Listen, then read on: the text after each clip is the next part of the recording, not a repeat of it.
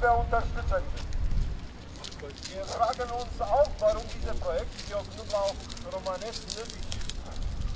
Die Initiatorinnen sagen, dass diese Projekt Arbeitsplätze und eine bessere Zukunft für die Jugend Roma schaffen soll.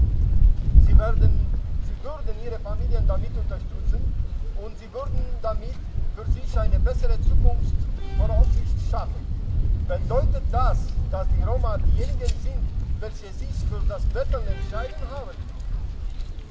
soll das bedeuten, dass Roma nicht arbeiten wollen und dass sie ohne politische Gründe flüchten von ein, äh, einem Land zu an, anderem? Bedeutet das, dass die Jugend Roma nicht zur Schule gehen wollen? Warum? Woher beziehen sie all, alle diese Wissen über Roma? Woher können sie ganzen Annahmen über Kultur und das Leben von Roma? Warum werden solche Projekte nicht für andere Gruppen von Kindern eingerichtet sein. Wir können die junge Roma eine bessere, wie können die junge Roma, Roma eine bessere Zukunft haben, wenn sie Knoblauch anbauen werden?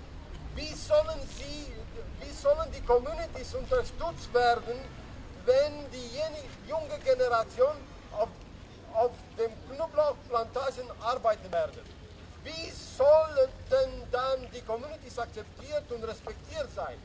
werden sie dann als Knoblauch-Communities anerkannt sein. Was passiert dann mit denjenigen, die schreiben wollen? Was passiert mit denjenigen, die in der Mitte der Stadt leben wollen? Oder diejenigen, die Mathematik lernen wollen? Oder diejenigen, die lieber professionellen Sport machen wollen? Dürfen sie alle diese Wünsche haben? In dieses Projekt wirklich, ist dieses Projekt wirklich ein gutes Modellprojekt werden hier die Menschenrechte respektiert, wenn eine Gruppe für das Leben von einer ganzen Bevölkerung entscheidet. Ist dieses Projekt frei von Diskriminierung, wenn Menschen eingeschränkt werden?